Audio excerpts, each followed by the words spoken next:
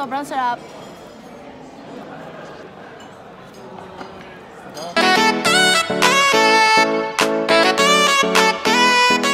Hi guys! Hi guys! Welcome back to my channel.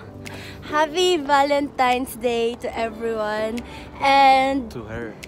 ngayon, punta kami sa restaurant na rin serve ni Jim. And it's super ganda. Ang daming lights and all. Kaso, hindi nga ata nakuha yung sa terrace kasi sobrang Puno na. puno ng reservation. Pero okay lang.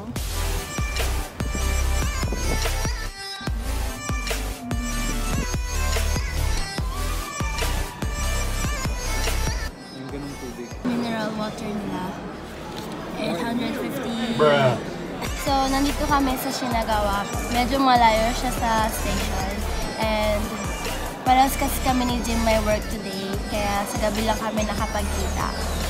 And sasakay sana kami ng taxi from the station pero sobrang haba ng pila. So, ayun, nilakad na lang namin siya like 10 minutes. Pero okay lang, mukhang maganda naman yung place and hmm, Nag-order kami ng chicken quesadilla and wagyu hamburger and then one Kansas style barbecue and parang tortilla. Tapos, ang sabi ng staff, sobrang dami daw para sa dalawa.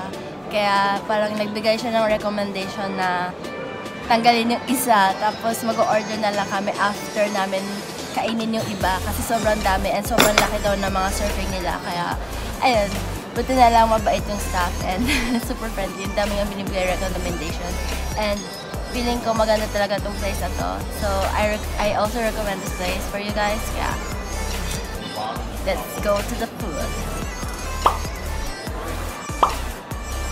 Wagyu burger. Yes. How's your food? Solid. Sarap. Wagyu. Guys, dumating na yung Kansas style barbecue and half size lang yung kinuha namin pero sobrang laki niya. B, what can you say about the steak? Dekay. sobrang sarap. It's a 10 out of 10. Right? Ma'am.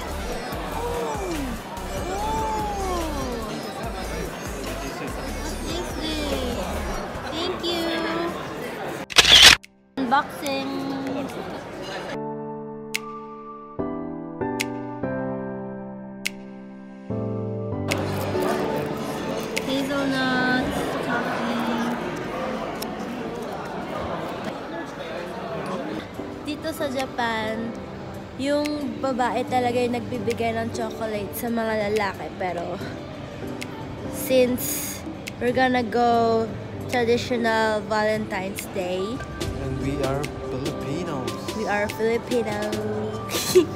Meron din silang White Day every uh, March 14. Kaya doon ako magbibigay ng chocolates kay Jim.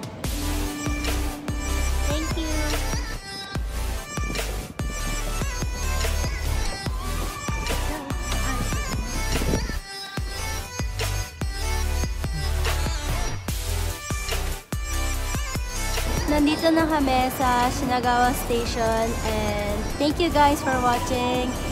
Please don't forget to hit that like button and subscribe to my channel.